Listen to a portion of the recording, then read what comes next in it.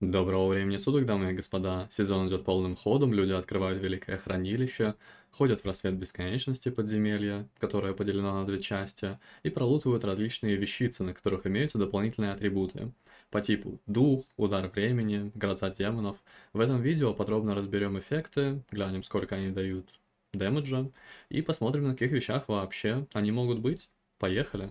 Первый эффект, который мы рассмотрим, это будет удар времени. Он имеется на одноручном боевом клинке, на огнестрельном, на одноручном кинжале, а также на двуручном древковом с ловкостью. Удар времени с вероятностью 10% дает срабатывание другого эффекта. То есть срабатывает некая многократная атака, которая была в Дреноре. Нынче многократной атаки никакой абсолютно нет. Такого стата просто не существует. Сколько же делает урона этот эффект?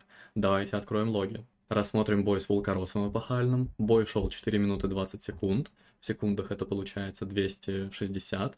Есть у нас гильдии в статике разбойник с никнеймом Злобность. И у него имеется два кинжалика, таких 483, у которых присутствует удар времени. Эти кинжалы сделали от своего эффекта 1 миллион урона. При суммарно 56 нанесенных с половиной миллионах урона. 482 там level разбойника. То есть 2% от двух кинжаликов в виде дополнительного эффекта.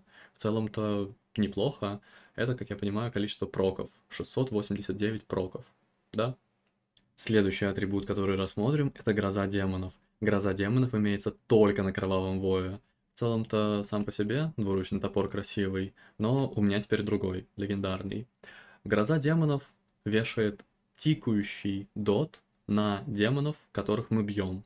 В игре на текущий момент не так много демонов. По-моему, только в КЧЛ, то есть в крепости Черной Ладьи, суммарно этот дот за все подземелье наносит около миллиона урона. А это где-то полпроцента урона. Я найду, думаю, скрин по записям своих трансляций и вставлю его в видосик. Вы в этом удостоверитесь. Такой просто тикающий дот, тикающее кровотечение против демонов. То есть вроде бы приятно, а вроде особо много дэмэджа оно и не делает. Топорик надамагал вот этой своей мощью демонов, грозой демонов. Кровопускание воеводы 0.3%, 1 миллион. Туфли из прочной ледяной ткани. Тканевые ступни, которые имеют дух. Дух, который был раньше, который имеется в классике, например, который просто-напросто повышает манореген и здесь он работает точно так же. Кельзарам – высший клинок льва. Если посмотреть на модельку, думаю, многие поймут, на что похож этот меч. Правильно, на Кельдилар. Его уникальный атрибут Кельзарама – руна проклятия плети. Действует в целом так же, как и гроза демонов. Только руна проклятия плети работает против нежити. И, похоже, также просто наносит дополнительный урон. Помимо вещей с уникальными атрибутами, есть также вещи, которые имеют в себе интересные свойства. Первая такая вещица – это длань бесконечности.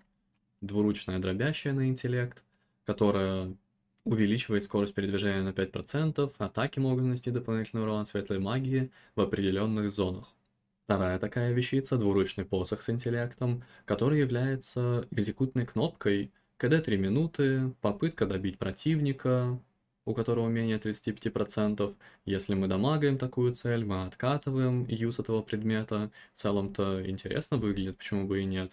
Убить какой-то low-target или, например, убивая жирного эпохального босса, можно несколько раз даже нажать этот посох и таким образом помочь дамагам, будучи хилом. Почему бы и нет? Разные такие вещицы можно использовать по-разному, и в какой-то момент даже крупица урона будет полезно. Поэтому, само собой, желаю удачи вам в получении всех этих предметов. Надеюсь, они проявят себя. Всех вам благ, счастья, здоровья, берегите ноги, мойте руки. Не забывайте о ссылочках в описании. До скорого!